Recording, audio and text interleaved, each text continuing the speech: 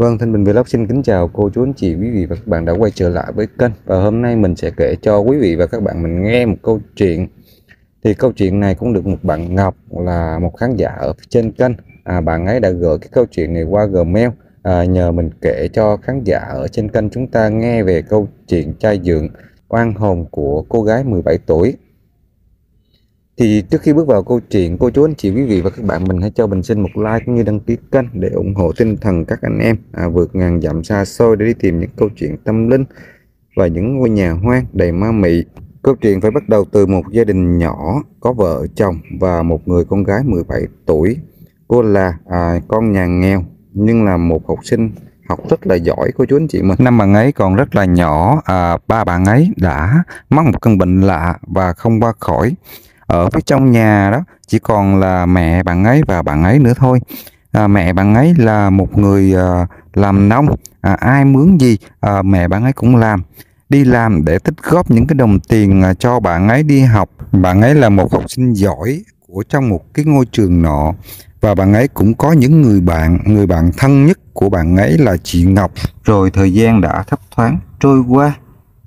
Hai năm dài đăng đẳng mẹ bạn ấy có quen một người à, đàn ông khác là cái người trai dượng hiện tại. À, bây giờ của bạn ấy đó quý vị và mẹ ấy cũng đưa người trai dượng này à, về sống chung một à, ngôi nhà. Cái người trai dượng này nè cô chú anh chị à, về sống trong một nhà với bạn ấy và mẹ bạn ấy thì à, mẹ bạn ấy có kể lại cho bạn ấy nghe là ngày xưa à, cái người trai dượng này rất là giỏi cũng là một người làm hồ à, cũng có tiền có bạc tại vì cũng có đi làm chung với mẹ bạn ấy thì à, mẹ bạn ấy mới quen được cái người à, trai giường này. Bây giờ hiện tại của à, mẹ của mẹ bạn ấy đó quý vị cho đến một ngày á à, mẹ bạn ấy đi làm à, chỉ còn là bạn ấy và cái người trai dượng này ở tại trong nhà mà thôi. Thì trong lúc đó là bạn ấy chuẩn bị tắm rửa để mà đi à, học đó quý vị thì cái người cha dượng này không biết từ đâu lại xuất hiện ở phía sau à, cái ngôi nhà tắm. Nhưng mà bạn ấy lại thấy nhưng mà bạn ấy không có dám nói với mẹ mình. À, rồi à, có một ngày bạn ấy đang tắm rửa thì à, tình cờ thấy cái người cha dượng này à, đang à, rình à, bạn ấy tắm. Thì bạn ấy có la lên và hỏi cha đang làm cái gì đó. Thì cái người cha này thì cũng có trả lời là cha chỉ đi tìm một ít rau à, phía sau nhà mà thôi chứ không có gì đâu con. Thì cái người cha này vẫn trả lời như vậy thì à, bạn ấy cũng không có nói gì nữa. Và đêm hôm đó bạn ấy về cũng có à, nói à, chuyện với mẹ.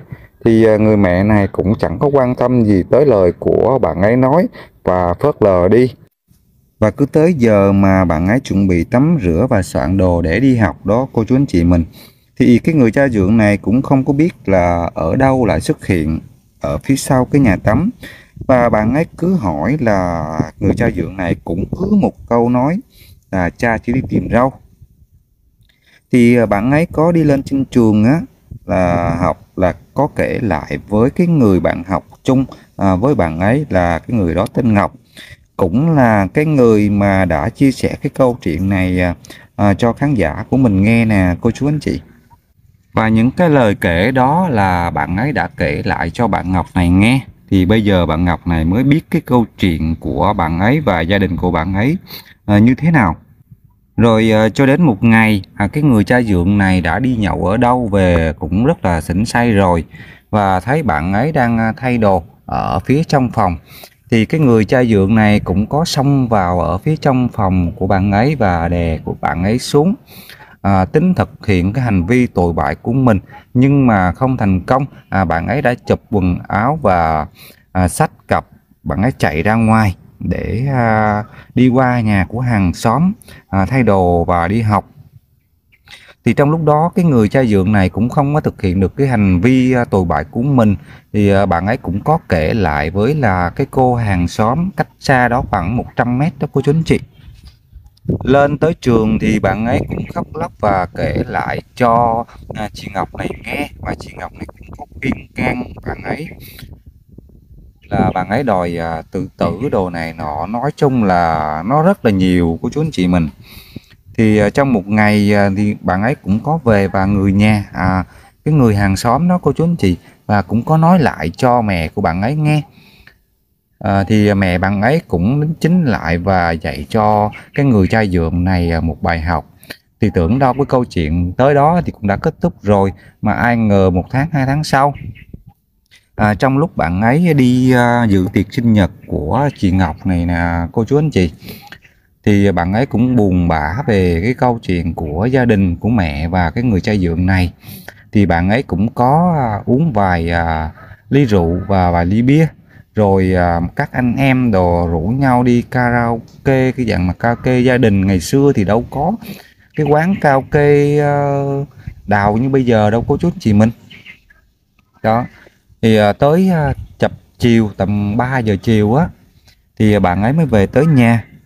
Là lúc đó bạn ấy về tới nhà thì bạn ấy đã xỉn à, say rất là cái con người mà nói chung là không còn cái biết cái gì nữa hết trơn á à, bạn ấy đã đi vào ở phía trong phòng và nằm xuống đó à, ngủ thiết đi hồi nào cũng biết. Thì à, chụp choạng một hồi sau á, cái người trai dượng này à, đã xỉn say và đi về. Về nhà tới phòng á, tới nhà thì à, à, thấy bạn ấy à, đang à, ngủ trên giường. Nhưng mà cái người con gái mà mặc cái bộ đồ mà cái váy mà đi học cũng gì lộ ra rất là nhiều cái sơ hở và trước đây ông ta đã thực hiện những cái hành vi à, tội bại của mình đã không thành công. Hôm nay thì được uh, cò béo mỡ mà uh, cám treo uh, trước mặt thì làm sao mà heo nhịn đói được quý vị? Đó uh, ông ta đã cái thực hiện cái hành vi tồi bại của mình. Và trong lúc thực hiện cái hành vi tồi bại đó bạn ấy lần đầu tiên à, để mà quan hệ với người đàn ông đó à, thì bạn ấy rất là đau lúc đó tỉnh dậy thì bạn ấy mới thấy cái tình cảnh người trai dượm à, à, đang leo núi à, dưới mình. Thì bạn ấy mới la hét lên và đạp người trai dượng nó ra. Rồi bạn ấy chỉ có co rua ro lại à, một góc ở phía trên cái giường. Đó thì người cha dượng này có hăm dọa nếu mà mày dám mét với mẹ mày và à, người xung quanh hàng xóm đồ này nọ tao sẽ giết cả hai mẹ con mày thì à, bạn ấy rất là sợ luôn nên cũng không có dám nói và chỉ ngồi co ro ở trong phòng và bạn ấy cũng bỏ học không có đi học nữa.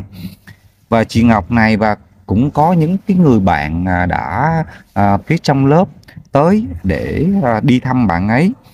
Thì thấy à, bạn ấy ngồi co ro lúc ở phía trong à, cái ngôi à, phòng của mình. Rồi chị Ngọc này mới có hỏi thì bạn ấy cũng không có dám kể lại và bạn ấy chỉ nói một câu bạn ấy chỉ muốn chết chứ không muốn sống nữa. Thì ờ, chị Ngọc này cũng có khuyên ngăn và cản. À, rồi cũng có 10 ngày sau nhưng mà 10 ngày hôm đó là cái 10 ngày kinh hoàng của bạn ấy mà bạn ấy phải chịu đựng. Mỗi ngày ông cha dượng này đi về á à, là cứ nhảy vào và thực hiện cái hành vi tội bại của mình với người con gái à, ruột của vợ cứ mỗi lần như vậy à, ông ta đi xỉn à, say đi về thì à, cái người con gái này phải chịu à, cái những cái hành vi tồi bại của ông. Rồi tới một ngày bạn ấy đã hết sức chịu đựng của bản thân mình và bạn ấy đã sử dụng một cái loại à, thuốc là à, thuốc diệt cỏ đó cô chú anh chị à, hút vào một cái ống à, tim và bạn ấy tiêm trực tiếp vào ở phía trong mạch máu của mình. Là hai ống như vậy còn một chai thuốc bạn ấy để trên đầu giường và một con dao Thái Lan. Thì ờ, lúc đó cái người cha dượng này ờ, về ờ, và đang thực hiện cái hành vi tội bại của mình với người con gái ruột của vợ. Và lúc, trong cái lúc ông cha dượng này đang lên đỉnh của cái sự sung sướng, thì bất ngờ à, là người con người con gái này đã cho ông ta quất mười mấy nhát dao. Thì không biết bao nhiêu nhát dao đâu cô chú anh chị mình à, lúc à, mà bên à, cơ quan chức năng người ta tới à, để khám nghiệm tử thi thì người ta cũng có nói là à, cũng chả biết bao nhiêu giác nữa mà đâm ngang hông á. Hông mà bên lá lách của mình nó cô chú anh chị thì cái người cha dượng này bò từ ở phía trên giường này bò xuống á à, và chết à, tại cái cửa. À, rồi mẹ của bạn ấy về à, và thấy người cha dượng đang nằm ở phía dưới đất mà miệng mồm đồ người đò máu me không à. à mẹ của bạn ấy chạy vào ở phía trong phòng thì thấy người con gái của mình à, cũng nằm đã chết ở phía trên cái giường đó. À, và không có mặc đồ quần áo cái gì cả thì à, mẹ bạn ấy mới la lên à, kêu những người hàng xóm. À, tới thì những người hàng xóm đó thì cũng báo về bên à, chính quyền địa phương và và vào để à, khám nghiệm hiện trường và khám nghiệm tử thi rồi người nhà đã tổ chức uh, đám tang à, mai táng cho hai cha con ờ, bạn ấy. Và bạn ấy ờ, rất là linh của chú anh chị. Lúc mà bạn ấy mất là bạn ấy chưa biết bạn mất đâu. À, trong cái đám tang của bạn ấy là bạn ấy có xuất hiện hai ba lần. Người các người bạn học và các người mà hàng xóm xung quanh đó họ đều thấy cả họ sợ họ không có dám tới đó. À, chỉ có người cô hàng xóm mà bạn ấy đã kể cho cô hàng xóm đó nghe. Chỉ có mình cô hàng xóm đó là không có sợ thôi. À, trong lúc mà người mà khiêng uh, khiêng áo quan đi đó cô chú anh chị là khiêng cái áo quan của bạn ấy là khiêng không lên luôn thì cũng có mời thầy và cúng kiến cúng giái xin bạn ấy. Thì bạn ấy mới cho khiên cái áo quan của ờ, bạn gái này đi. Thì mỗi đêm à, bạn ấy cứ đi về hết nhà này nhà kia à, để xin cơm à, xin đồ ăn đồ uống. Thì à, cái người hàng xóm này mới kể lại cho mình nghe lúc bạn ấy đi về để xin cơm á, trong người bạn ấy á, à, chỉ mặc một cái váy thôi. À, mặc cái váy mà cái kiểu váy đi học đó quý vị và bạn ấy mặc cái áo màu trắng đầu tóc thì xù xì à, quần áo thì rách rưới à, rất là nhìn. Nói chung bạn ấy chết rất linh nhưng mà về đó thì hàng xóm ở đó người ta không có sợ. Nhưng mà người ta càng thấy lại thấy càng tội nghiệp cho bạn ấy. Một người con gái mới có 17 tuổi mà bị cái người trai dượng này thực hiện cái hành vi tồi bại như vậy mà phải đến nỗi mà phải kết thúc luôn cả bằng mạng sống của mình rồi vài năm sau đó mẹ bạn ấy cũng uh, theo kiểu mà con bị mất và chồng bị mất uh, cái uh, hoảng loạn tinh thần mà bị uh, tôi gọi là bị khùng luôn đúng quý vị? Uh, vài năm sau đó thì mẹ bạn ấy cũng mất đi luôn. Đó, người uh, xung quanh hàng xóm đó người ta mới lập một cái miếu uh, để thờ bạn ấy. Và tới đây mình cũng uh, xin kết thúc câu chuyện. À, và chị Ngọc à, cũng muốn gửi tới à, cô chú anh chị phán xét dùm cho chị là trong cái câu chuyện này. Người con gái 17 tuổi đó sai hay là người cha dượng sai? Và cái người con gái 17 tuổi đó đã kết liễu cuộc sống của mình và kết liễu cuộc sống của người cha dượng đó. À, chị Ngọc cũng muốn là cô chú anh chị mình à, hãy phán xét dùm phân xử dùm trong câu chuyện này. Rất là nhiều người mà đã nói tới à, à, tai của bạn ấy nghe là người con gái 17 tuổi này đã sai hoàn toàn.